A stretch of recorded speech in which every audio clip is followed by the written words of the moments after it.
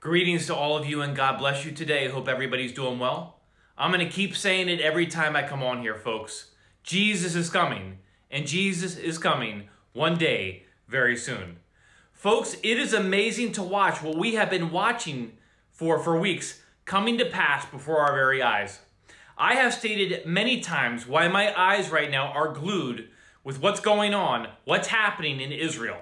Again, Israel is God's prophetic timepiece. If you want to know what time it is on God's prophetic timeline, you watch his timepiece, which is the nation of Israel. Again, Israel is the hour hand, Jerusalem as the minute hand, the Temple Mount as the second hand. All right. We are on the verge right now of a dispensational change. All right. Right now, we're in the dispensation of grace, which is the church age. But God is about to put his full attention back to the nation of Israel for Daniel's 70th week, the seven year tribulation period, the time of Jacob's trouble. That's why I believe, beyond a shadow of a doubt, we are on the verge right now. We are on the cusp of the rapture of the church of Jesus Christ, all right? Because I am watching God's prophetic timeline, or his timepiece, again, which is the nation of Israel, right? This year, again, 2022, is very different than any other year, folks, and I'll tell you why.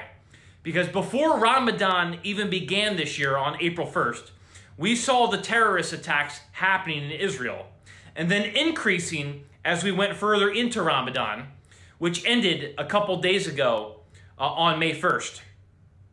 But before Ramadan even began this year, we had the mosques inside of Israel again calling for Israel's destruction. By July 8th of this year, 2022, due to their interpretation uh, from some verses in the Quran. Now, Israel is not going to be completely destroyed by July 8th of 2022. That's a bunch of hogwash. Jesus Christ is going to reign and rule from Jerusalem during his 1,000 year millennial reign. However, the surrounding enemies that try to come against Israel to destroy Israel, they will be destroyed. That we know for sure according to, according to the Bible. All right? But we have seen this massive uprising from the surrounding enemies of Israel um, to destroy Israel. On the very first day of Passover this year, 2022, we saw the escalation on the Temple Mount, which has continued ever since. And the world is pointing fingers at, uh, at Israel and blaming Israel uh, for the clashes and violence at the Temple Mount. On top of this, again, Israel's government is weak right now on the verge of collapsing again, heading toward possible fifth elections in just the last three years. Again, this has never happened in Israel's history before since Israel became a nation in 1948. Uh, but Israel's government is weak right now, and if you're the enemies of Israel, right, this is a perfect time for you to strike.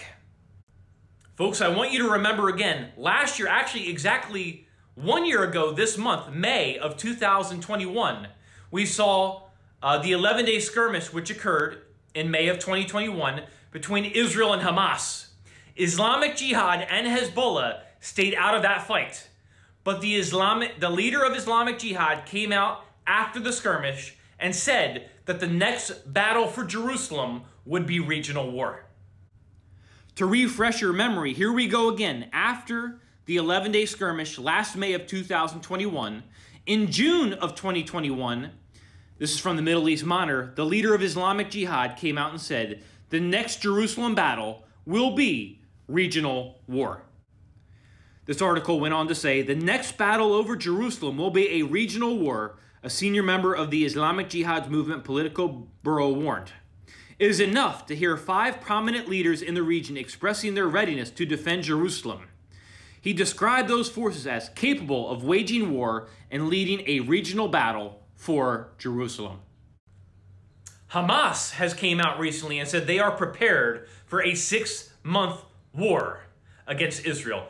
And make no mistake about it, again, Islamic Jihad, Hezbollah, and the other surrounding enemies of Israel have very clearly said that the next go about, all right, they say it out of the last fight, last May, again, exactly one year ago, this month is when we saw the last flare up between Israel and Hamas. But the other enemies of Israel said, this next go around, we're all going to jump in. And then I get alerted to this today, folks. Again, one year ago this month was when we saw the last flare up. This month, May of 2022, we're seeing it all come together again, folks, leading to something much, much, much, much bigger. This just in from the Times of Israel. Hamas warns Israel playing with fire as Temple Mount groups plan Thursday visit. It's Wednesday as I'm recording this video. Tomorrow, Thursday, uh, looks like there's big stuff coming, folks. Jewish groups vow to ascend the holy site on Israel's Independence Day. And then I get this from JNS. Hamas threatens war if Temple Mount opened to Jews on Independence Day. Hamas on Tuesday said Israel's intention to allow Jews to visit the Temple Mount on Thursday, tomorrow, Israel's Independence Day, would lead to a fresh round of fighting. Folks, what we have been talking about for weeks is happening. The battle for Jerusalem is closer than any of us think. It's all lined up. Watch for these Temple Mount clashes to begin again, possibly this Thursday, tomorrow, um, Israel's Independence Day.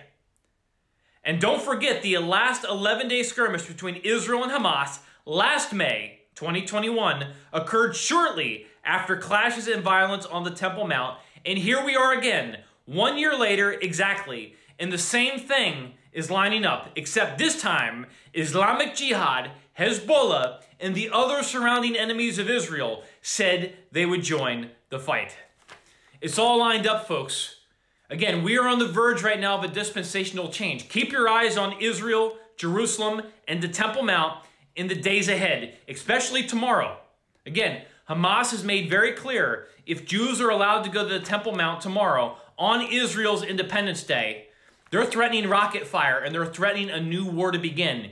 And we know what they said the next war would include. Again, Islamic Jihad, Hezbollah, and the other surrounding enemies of Israel to join the fight. We're on the verge of a dispensational change, folks. Again, that's how I why I believe we're on the verge of the rapture of the Church of Jesus Christ. I'm watching Israel, I'm watching Jerusalem, I'm watching the Temple Mount. And that's how I know we're close. And if you're watching this video right now and you don't have Jesus Christ in your life, just look around this world at everything occurring and look at what your Bible says, and you will see several things are true.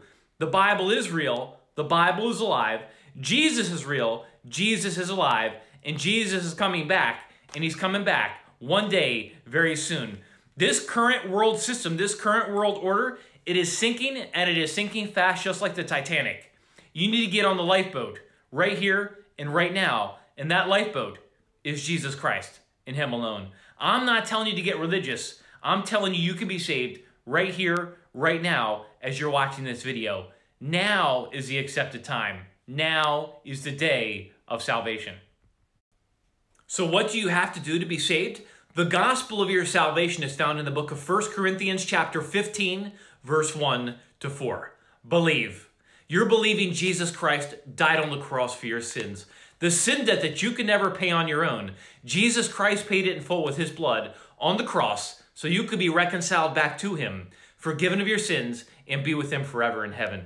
So you're believing Jesus Christ died on the cross for your sins, he was buried, and he rose again. He resurrected on the third day, as it is written in the scriptures. That's the gospel of your salvation. If you're still confused, here's the bottom line every single one of us is a sinner. We all miss the mark. We all fall short of the glory of God. And our sin separates us from a holy, a just, and a perfect God.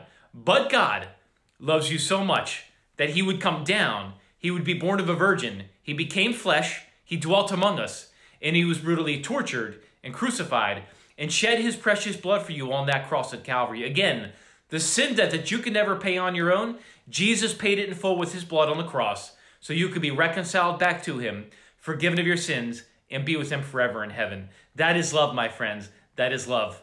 The bottom line, you're not promised your next breath. Any of us can breathe our last breath at any moment. Jesus Christ is the only way to the kingdom of heaven, and he's the only name that can save you. I am begging you, I am imploring you right now to get saved.